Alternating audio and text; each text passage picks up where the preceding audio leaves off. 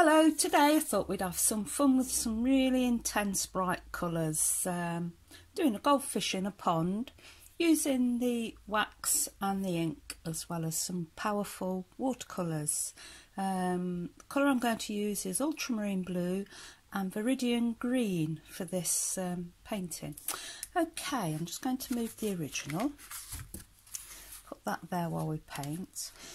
Again, I'm saying draw out yourself a line so you've got something to work within and also draw it so it'll your frame will sit nicely above when you've finished your painting. It always helps to offer a frame up to your painting. It always makes it look so much better. I don't know what the science is, but it always does. Okay then, I'm going to start drawing with um, an orange watercolour pencil um, this time it's one of my old Caran d'Ache ones I've had for a very long time.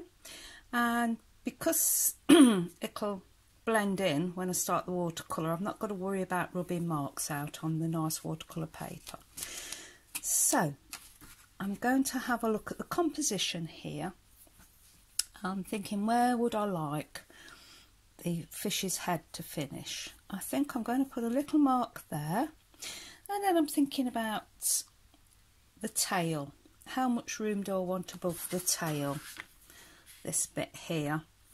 Um, it always helps with your drawing if you can just mark out where you want your um, subject. So I'm just going to put a little mark there. So happens oh, such a lot that people um, start drawing, they do a beautiful drawing, and then they run out of paper. I think, oh, so sad. Mind you, we get round it, we start cropping it differently and everything, but it's I think you enjoy your painting so much better if you've got a plan. You don't feel quite so anxious. So we've got that bit and that bit, and I'm just checking the angle. So that's flipped over a bit more there, but it'll do. It's good enough for what we want to do. Okay, the next thing I'm going to look at is that line there. Excuse me. And how that comes round so I'm thinking of the body of the fish coming down I'm just putting a little mark there. And so that's enough. It's a bit like doing dot to dot. Um, I know things sound very simple when you explain, but it is. So I always encourage people to use the arc of your arm to draw. If you need to turn anything round, do it. Don't work against the flow use everything you can to help you. So I'm just doing a very loose curve of the fish swimming round. What I love about um, the fish and that, I mean, we've had carp before years ago and they grew massive and this part here was so powerful. I just like to get the power of um, the fish. So and this is quite a nice simple shape. This is goldfish obviously. And then I'm just going to bring it round into the tail. And basically that's all the real observational drawing I'm going to do on this goldfish. You've got a flattish sort of bit here. Fins coming off here and here. Oops excuse me wobbling the camera. Eyes there and that's good enough, isn't it? Simplified fish. Um, now, for the tail, I know there's a lot of fancy species out there, but we can have a bit of fun playing, being creative. You can have it flaring out. So, we've got the main image. We've got it where we want within the composition. And now I'm just going to use the Parker pen with the quink, black quink ink and do some, just a bit of fun, play, loosen up. There we are, there's that power. It's powering round in the pond. Our fish were terrible where the frogs spawn, they used to eat all of it. So we've got that lovely bit there, that lovely mouth that carp have. Indicate where the eyes are. Okay. There isn't going to be a lot of ink work on here. It's mainly to do with the bright colours of the wax and the watercolour here. Okay, all right, making a decision on the tail. Well, we'll have a main bit and then we'll have some fun. Just playing.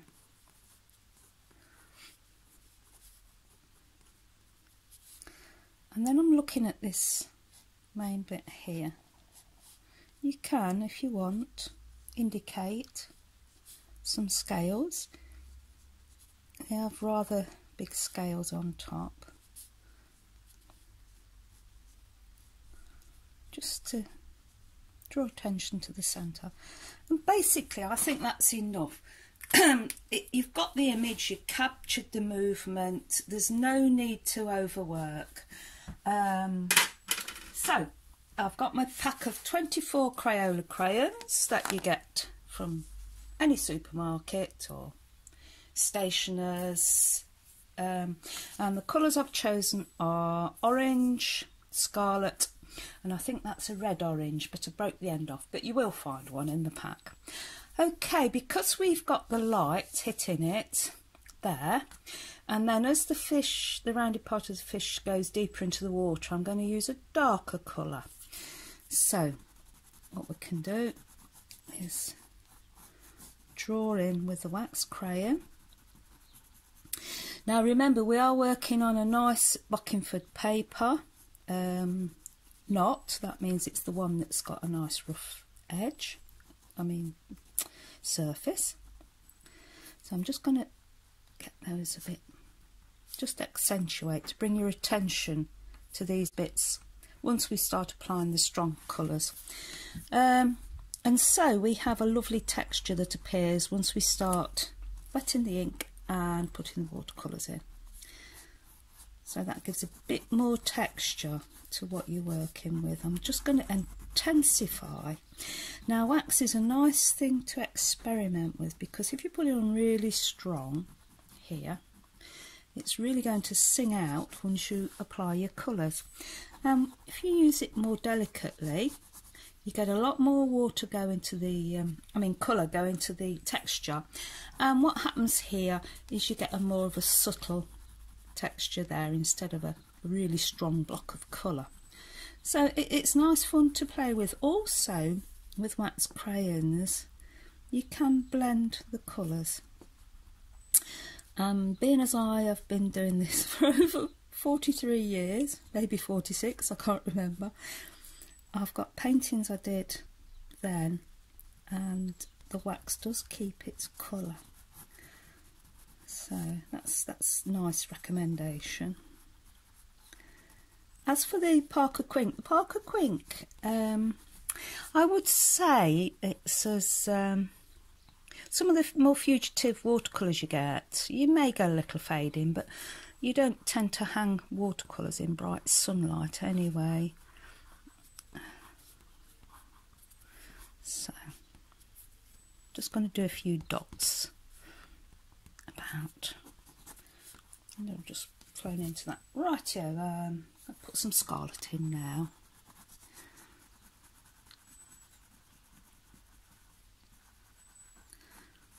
You see how using the colours you're kind of getting a 3D effect, you're getting the roundness of the fish. It's like getting perspective with colour rather than just line. And let's try some of this red orange, oh that's a beautiful colour. Yeah, we'll have that strong line cutting through the um, the water. Really strong there. We want those showing up more. The thing I do like about working in this technique is that it's very forgiving. It allows people to play. Um, I do like to teach good observational drawing so you've got a good base to work from. And then once you've got that, you can free up with your creativity. I just, I just really enjoy teaching this. Go all over the country doing the workshops, and I just love seeing the response and what people create. They're quite surprised by what they can achieve, and I think that's a great thing to achieve with people. Okay, I think we want the head a bit more distinct. I'm going to put some extra wax there. Okay, I've got the power there. The tail's all gone fuzzy and it's going to be splashing about um, with bubbles and things in the water. Right, now the more difficult part of the job is to use the white wax crayon or a candle like traditionally is used with watercolour um, paintings. I'm going to use the side a bit more and I'm going to create some light bits swirling in the pool. Now because it's white we can't see it. so you may, when you start using this, you might think, oh dear, I didn't mean it to look like that. But it does take a bit of practice, which is quite nice when you start achieving. Now, what I think I'm going to do a bit more frothiness around this tail as it's frothing out to the top of the picture.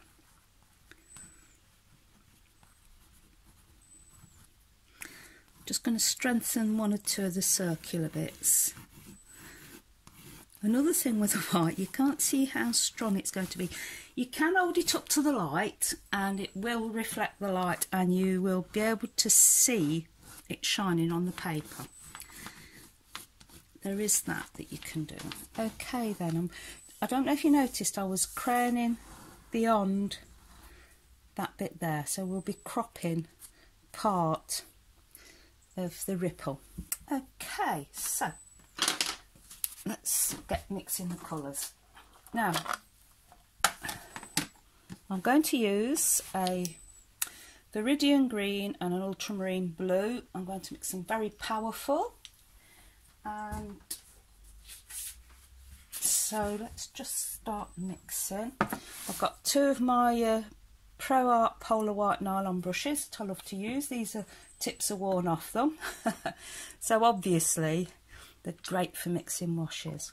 I've got plenty of room here to make a good amount of wash.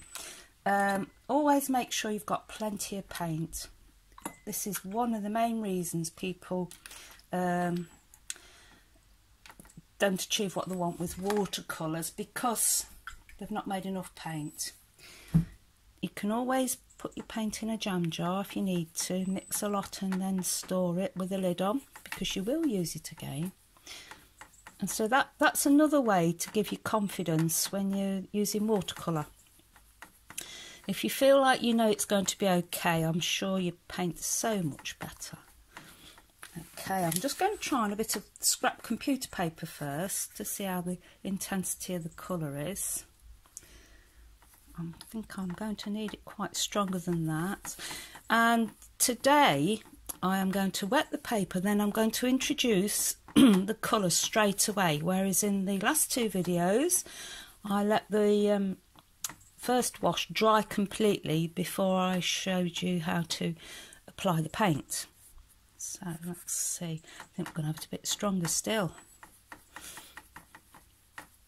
Another good um, colour you might like to try with this is Phthalo um, Turquoise. That is incredibly, it's got a really strong character. It'd be great for um, tropical seas. But as you know, with some of these um, really strong blues and greens that you can get, if you try them in the English landscape, they can take a little bit of handling. You've got to know how to mix them to make them look more natural. So here's the ultramarine. Let's see hope it doesn't look too black on your screen. I'm, I'm working in daylight in front of me and daylight bulbs behind me. So I'm hoping everything's um, clear to you. Okay, a bit stronger. Ooh. Don't be afraid. I know um, with watercolour it is the English tradition. It has been for centuries to do it delicate. I understand that and I understand how it influences people. But watercolour is just a fabulous medium and it's great just to use it in a way that suits your creativity. Okay, I'm going to test these on a piece of watercolour paper first. I think that's quite fun with that. That will dry 20 to 30% lighter with these dark colours. 20 to 30%. It can be that much lighter. I'm sometimes painting and I think that's beautiful. And you think, oh, you come back and it, it's lost its sparkle. And I often think it's a bit like when you wet a pebble on the beach. You know, it, it's a bit akin to that sort of feeling that you have. So it's a bit of practice just to get to know and have the faith to put your watercolour on nice and powerful, walk away, let it dry, and and um, come back sit when it's dry rather than dabbing it off. I know it's so easy for learners to kind of dab away and take it off again. So I'm going to wet all the way round with just clean water. Okay, can you see the droplets of water where the wax has been? We won't get a lot of ink running this time, but it's useful for these nice little bits of detail here, and it shows your drawing. Okay, ha ha, right, here's the fun. Notice I'm going all the way to the edge of my uh, square. Okay, so let's swirl. Oh, now just looking at this one, I did that in bits like that. I was thinking of um, the weeds under the water. So we've got the swirls going round and then I'm just going to do a bit of a diagonal layer of paint. Oh, look at this, what fun. Put some, this is nice using two brushes because you, you've got them both loaded up in colour. Oh wow, orange and blue, how beautiful. Now, I understand that you may want to control it a bit more, but sometimes you've just got to let it go. Let look at this bit here swirling around. And with this technique, if you do get a few cauliflowers, it may sit in well with the character of what you're doing. So if you think it looks okay, leave it. That's what they say. If it looks right, it is right. Now, there's a tremendous amount of wet on there. You notice there's some beads of colour that have sat on top of the wax. That's fine. If you feel you want to lift it off, just get your brush, lift it off. In some cases, it's nice to leave some for texture. Notice how the finer bits where my, I've not pressed so hard on the wax, but that could be under the water, you see. Okay, I'm going to leave this to dry now and I'll be back later.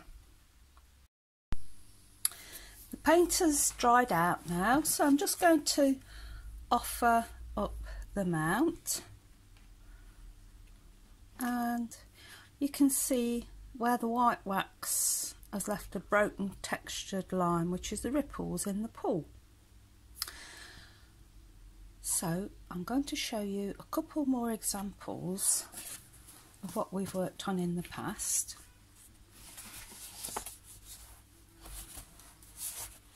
That one in more of a landscape format.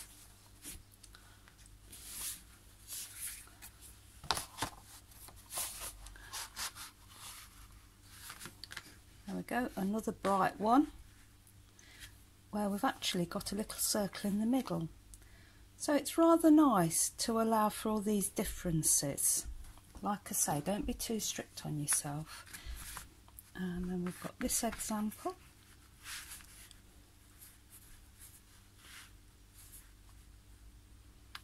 So there's another one with a lot of splashing about around the tail. Concentric circles again, slightly off centre, that's fine. And then here's more of a subtle one for you to look at. The fish swimming down the other way.